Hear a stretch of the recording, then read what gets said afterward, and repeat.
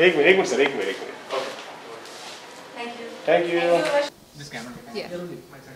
सबसे पहले मुबारकबाद चाहूँगा इतने सारे व्यूज़ आ रहे हैं आपको यूट्यूब पे। क्या कहना चाहेंगे? कितनी खुशी मिलती बात को जी बहुत ही ज़्यादा खुश हैं। हम मैं ही नहीं हम सब Hrithik Roshan Rakesh Roshan the director the entire team Kaabil is really very happy because more than 55 million views हमने क्रॉस कर दिए हैं और we are still counting so yeah it is I never expected that it I will get such amazing reviews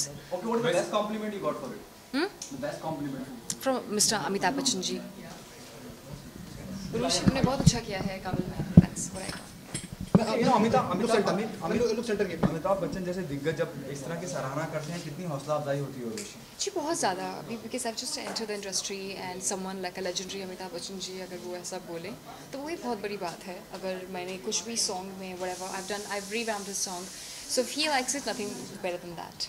Okay how do you see your journey you know और सुष्मिता का कितना योगदान मानती है? सुष्मिता सेन की अगर मैं बात करूँ। जी I am really very thankful to her as well वो uh, मेरे लिए नहीं पूरे हमारे पूरे देश के लिए एक बहुत ही बड़ी आइडल हैं Sushmita Sen. And she is always be very favourite of mine always and I love her from the bottom of my heart. And the journey is going to be very positive that's what I and uh, I want to learn as many things okay जिस तरह के जिस तरह के item number special number आप जो कर रही हैं आपको लगता है don't you feel you know fair somewhere down the line you will get type का No, not at all. And previously, चाहे वो कटरीना कैफ हो उन्होंने चिकनी चमेली किया एंड देन दमंग में किया था दिल से दिल में बिलाओ जी आ गए हैं देखो बॉडी गार्ड एंड तब उन्होंने उसके बाद uh, चिकनी चमेली भी किया। था आई थिंक मेरे से ज़्यादा तो उन लोगों ने आइटम सॉन्ग्स किए हैं। करीना कपूर ने जैसे किया था करीना मैम ने एक दबंग में Fevicol and then she is done मेरा नाम मैरी है, Mary song.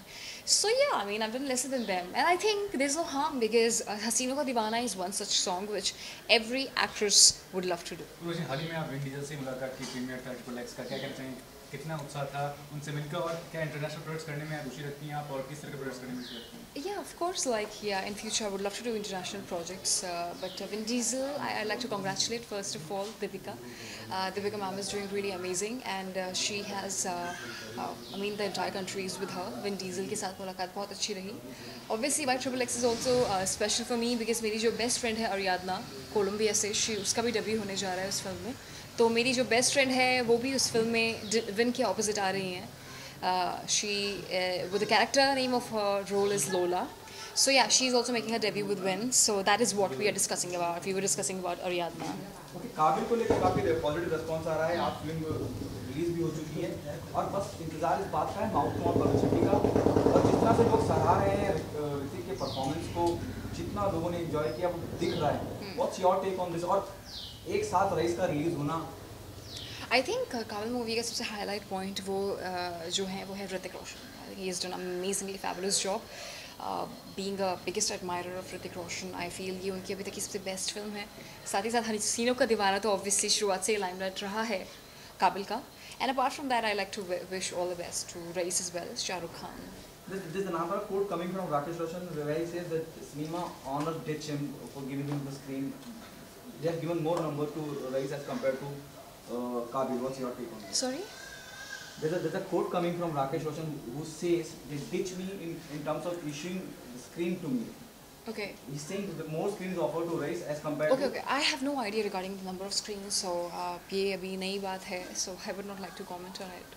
Okay, yesterday, day before yesterday, when the Kabil screening happened, and we spoken to Mr. Rakesh Roshan, he, he said, when when we asked him, ki, would you would you love to watch Rais? He said, I won't. Instead of watching Rais, I'll watch twice Kabil. हाँ. What's your take on I completely support Mr. Rakesh Roshan because uh, it's his film and Kabil है ही ऐसी film जो दो या तीन बार नहीं कितनी बार देखी जाए and uh, several times you can watch it Kabil. that? Okay, what what other things are there in the pipeline? There are a lot of uh, exciting projects coming up which I can't disclose right now, but uh, yes, for sure in future I will. Thank you. पाँच दो minute